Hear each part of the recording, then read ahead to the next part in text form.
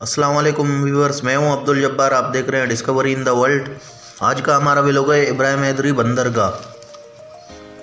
इब्राहिम हैदरी कराची के साहिली इलाके पर एक कदीम बंदरगाह है, जिसकी आबादी लगभग डेढ़ लाख है, और बेशतर रिहाइश का रोज़गार माहीगीरी से जुड़ा हुआ है। आज के इस व्लॉग में व्यूवर्स हम आपको यहाँ के आबादी के लिहाज से, कारोबार के लिहाज से जो कुछ भी होता है, सब कुछ बताएँगे। जुड़े रहिए हमारे साथ, देखते रहिए वे लोग।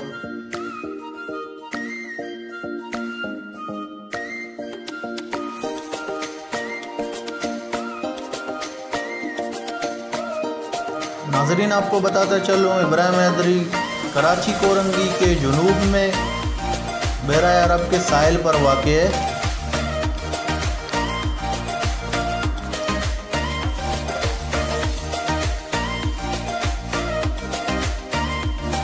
आज के इस व्लॉग में हम आपको दिखाएँगे इस बंदरगाह की तारीख। मछली बाज़ार में ख़रीद फरोख्त होने वाले मछलियों की नस्लें और नाम और यहाँ के लोग जाल बनाने में मायर और जाल कैसे बनाते हैं। इब्राहिम अदरी कश्ती बनाने का मरकज़ और यहाँ पर कश्तियों में इस्तेमाल होने वाली लकड़ियाँ।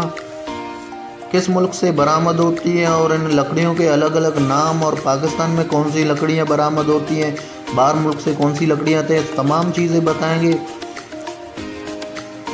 और एक बड़ी कश्ती तैयार हो चुकी है, उसका मुआयना कराएँगे इस ब्लॉग में।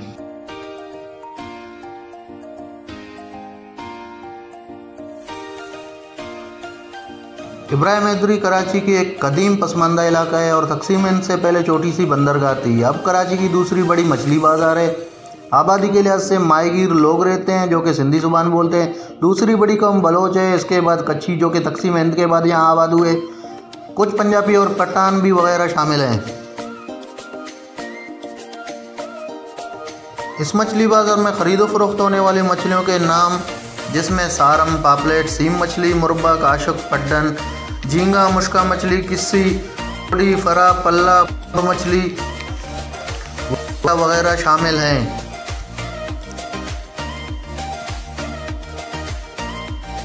इस मछली बाज़ार में समंदर से मिलने वाली तमाम मछलियों की नस्लें मिल जाती हैं। इस शहर की चारों तरफ़ के बेशुमार मसाइल के बावजूद समंदर की खूबसूरती और यहाँ के लोगों का सादगी का कहीं और तजुर्बा नहीं किया जा सकता। इब्राहिम हैदरी मछली का जाल बनाने और उसकी ख़रीदो फरोख्त के लिए मुल्क भर में मशहूर है।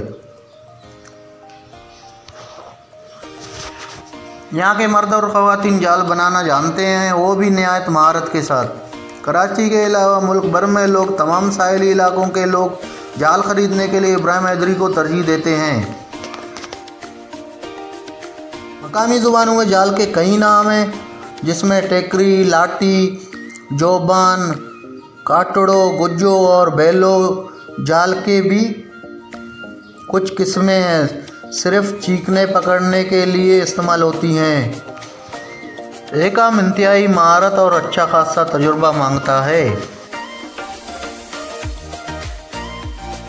इसी ज़माने में मुख्तलिफ़ किस्म की घास से जाल बनाए जाते थे। ज़माना बदला तो काटन के जाल बनने लगे और अब ये जाल नायलून के बनाए जाते हैं। एक जाल बनने में कितना वक्त लगता है, उसका अनुसार जाल की लंबाई, चौड़ाई, मजबूती और वज़न पर होता है।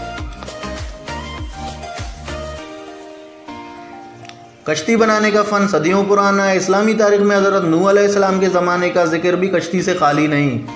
लेकिन गुजरते वक्त के साथ साथ कश्ती साजी की तकनीक और उससे उसमें इस्तेमाल होने वाले औजारों ने जिद्दत इख्तियार कर ली है। मसलन पुराने ज़माने में लकड़ी को छीलने के लिए बाजू की ताकत में चलने वाला रंदा इस्तेमाल हुआ करता था। मगर अब यही काम बिजली की मदद से चलने वाले जदीद रंदे से लिया जाता है।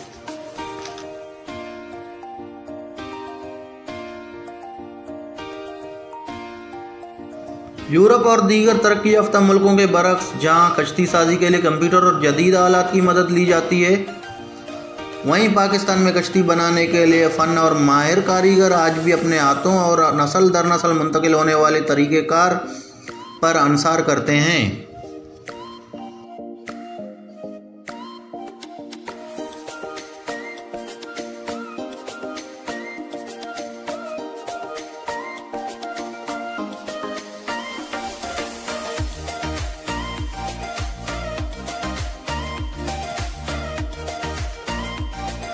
पाकिस्तान यहाँ की मकामी लकड़ी कीकर, लाची, सार्स और इंडोनेशिया से बरामद की जाने वाली सबसे शानदार लकड़ी बुरमाटेक से कश्ती साजी के लिए मशहूर है।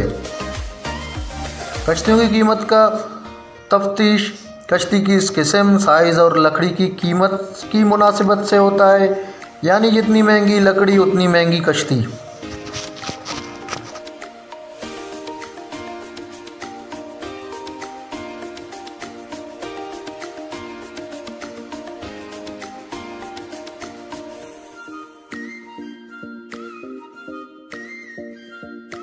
इसके बावजूद कश्ती साजी के फ़न से जुड़े कारीगरों का कहना है कि पाकिस्तान में तैयार होने वाली कश्तियाँ बैन अवी मैार की होती हैं, जिनका मुकाबला दुनिया के किसी भी मुल्क में बनने वाली कश्तियों से किया जा सकता है।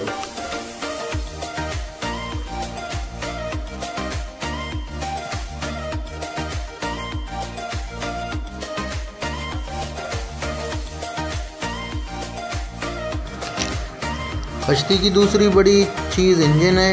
ये इंजन ज़्यादातर सिंगापुर, अफ़गानिस्तान और चीन से मंगवाए जाते हैं।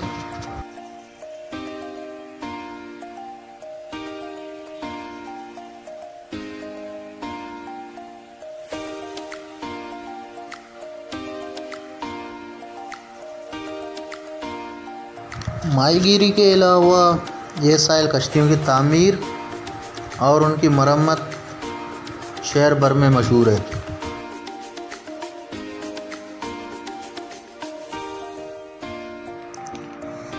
ये एक बहुत बड़ा नया कश्ती है, जिसको बनाया गया है। अभी तक समंदर में से लेकर भी नहीं गए हैं। बिल्कुल बेहतरीन तरीके से बनाया गया है, जिसके मालकान ने इस पर बड़े शौक से लाल कलंदर का नाम दिया है इस कश्ती को। ये कश्ती समंदर में जाने के लिए बिल्कुल तैयार है। बस इसको समंदर में ले जाने की देर है।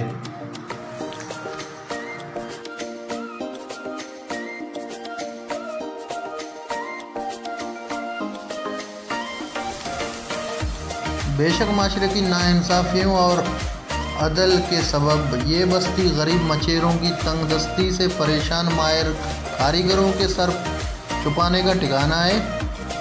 मगर इस हकीकत से भी किसी को इनकार नहीं हो सकता कि मुल्की मीशत को ऑक्सीजन पहुँचाने वाली सनतों का एक अहम हिस्सा है।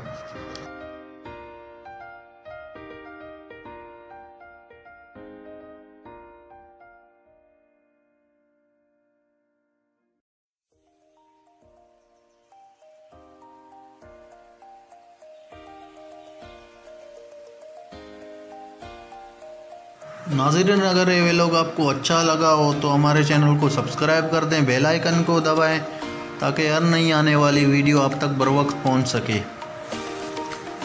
मिलते हैं एक और अच्छी व्लॉग के साथ। अब तक के लिए इतना ही। खुदा हाफिज़।